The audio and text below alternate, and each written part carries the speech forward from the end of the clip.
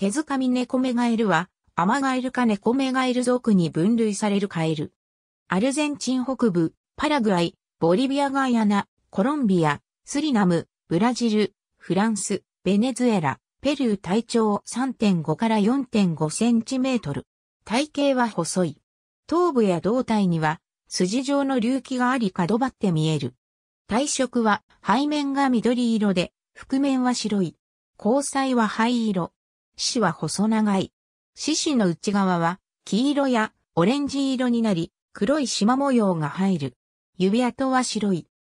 粉炭から体側面にかけて白い筋模様が入らないか細い。目と筋模様は接しない。獅子の内側はオレンジ色で鮮明。粉炭から体側面にかけて白く太い筋模様が入る。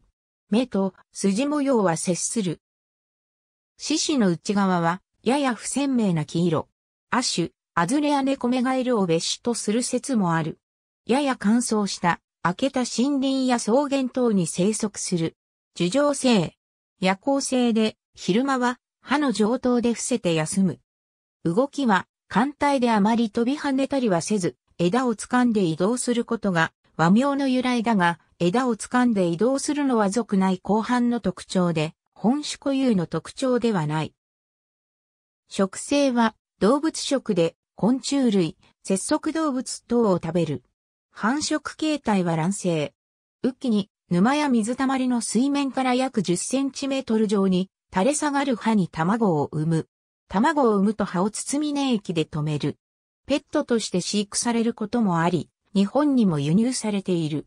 族内では流通量が多い。主に元亜種の野生個体が流通するが、飼育か繁殖個体が流通することもある。テラリウムで飼育される。樹状性のため、高さのあるケージで飼育するのが望ましい。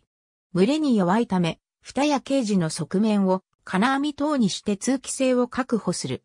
枝や観葉植物等を組んで活動場所や隠れ家にするが、枝はつかめるように細いものを用意する。極度の高温や低温には弱いため、夏季にはケージを風通しの良い場所に置いたり、冷房器具を使用する。逆に冬季には暖房器具を使用したり、ケージを温室に収納する。水は全身が疲れるような水容器を用意し、夜間や照明を消した際に霧吹きで湿度を上げる。餌はコオロギ等をピンセット等で各個体に与えるか、餌容器に入れて与える。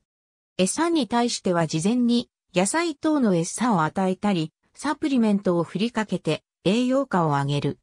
餌に反撃されたり動きが簡単なため逃げられるのを防ぐため、生きた餌の場合は、顎や触覚、講子を潰したり追ってから与える。